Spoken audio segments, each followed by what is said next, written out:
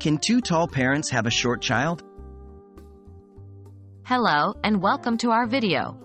Today, we're going to unravel the fascinating world of genetics and delve into a common question. Can two tall parents have a short child? Understanding height and genetics. First things first, let's get a grasp on how genetics play a role in determining our height. Height is a polygenic trait, which means it's controlled by multiple genes.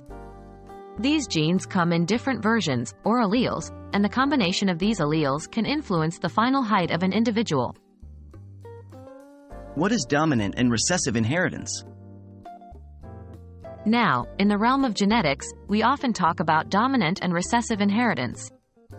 Dominant traits are those that only need one copy from one parent to show up, while recessive traits need two copies, one from each parent, to appear. But height doesn't strictly adhere to these rules. It's not a single gene with a dominant and recessive version, but rather many genes interacting together. So, you could say height follows a more additive inheritance pattern, where every gene adds a small amount to the total height. How can two tall parents have a short child?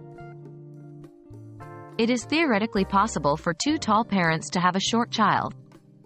Each parent, tall or short, carries a mix of tall and short alleles.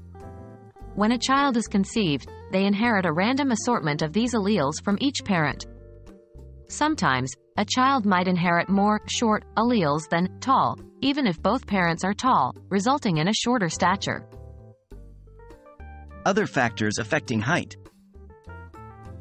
Remember, while genetics do play a significant role, they aren't the sole determinant of height. Environmental factors like nutrition and overall health during childhood and adolescence can also impact height. So, in some cases, a child may be shorter due to factors other than just their genetic makeup. In conclusion, genetics is a complex and fascinating field.